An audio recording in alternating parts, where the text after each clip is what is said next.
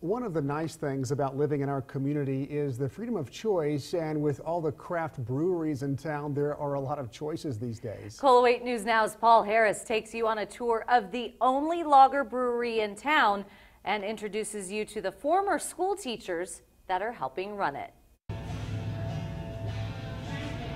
Joe Walsh and the Eagles might be playing in the background, but it was a different bird that gave an upstart brewery in Reno its inspiration. Pigeon Head came from a oil painting that one of the owners, uh, good friends, did. Pigeon Head Brewery is located in the old SPCA building on 5th Street. So you used to come here for a kitten, now you come here for a keg.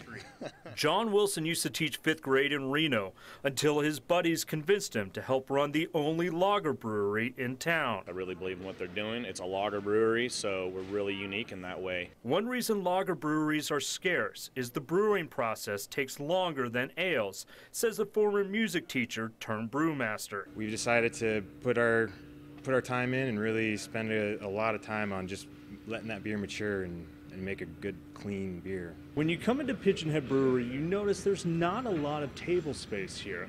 And Jon Wilson says that's actually by design. That's what a brewery does. It opens up people and it, it creates opportunity and friendships. Features aside, whether the place will do well or fail essentially comes down to the beer. I literally enjoyed every beer on the menu, and that's something you don't find with most craft breweries. And that is music to the ears of Brian Holloway.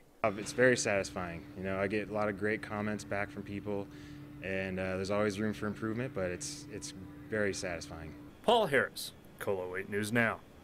Pigeon Head is hoping that area around 5th and Wells Street becomes known as the Brewers District with Under the Rose Brewing Company down the street and the opening of the Depot Brewery a few blocks away.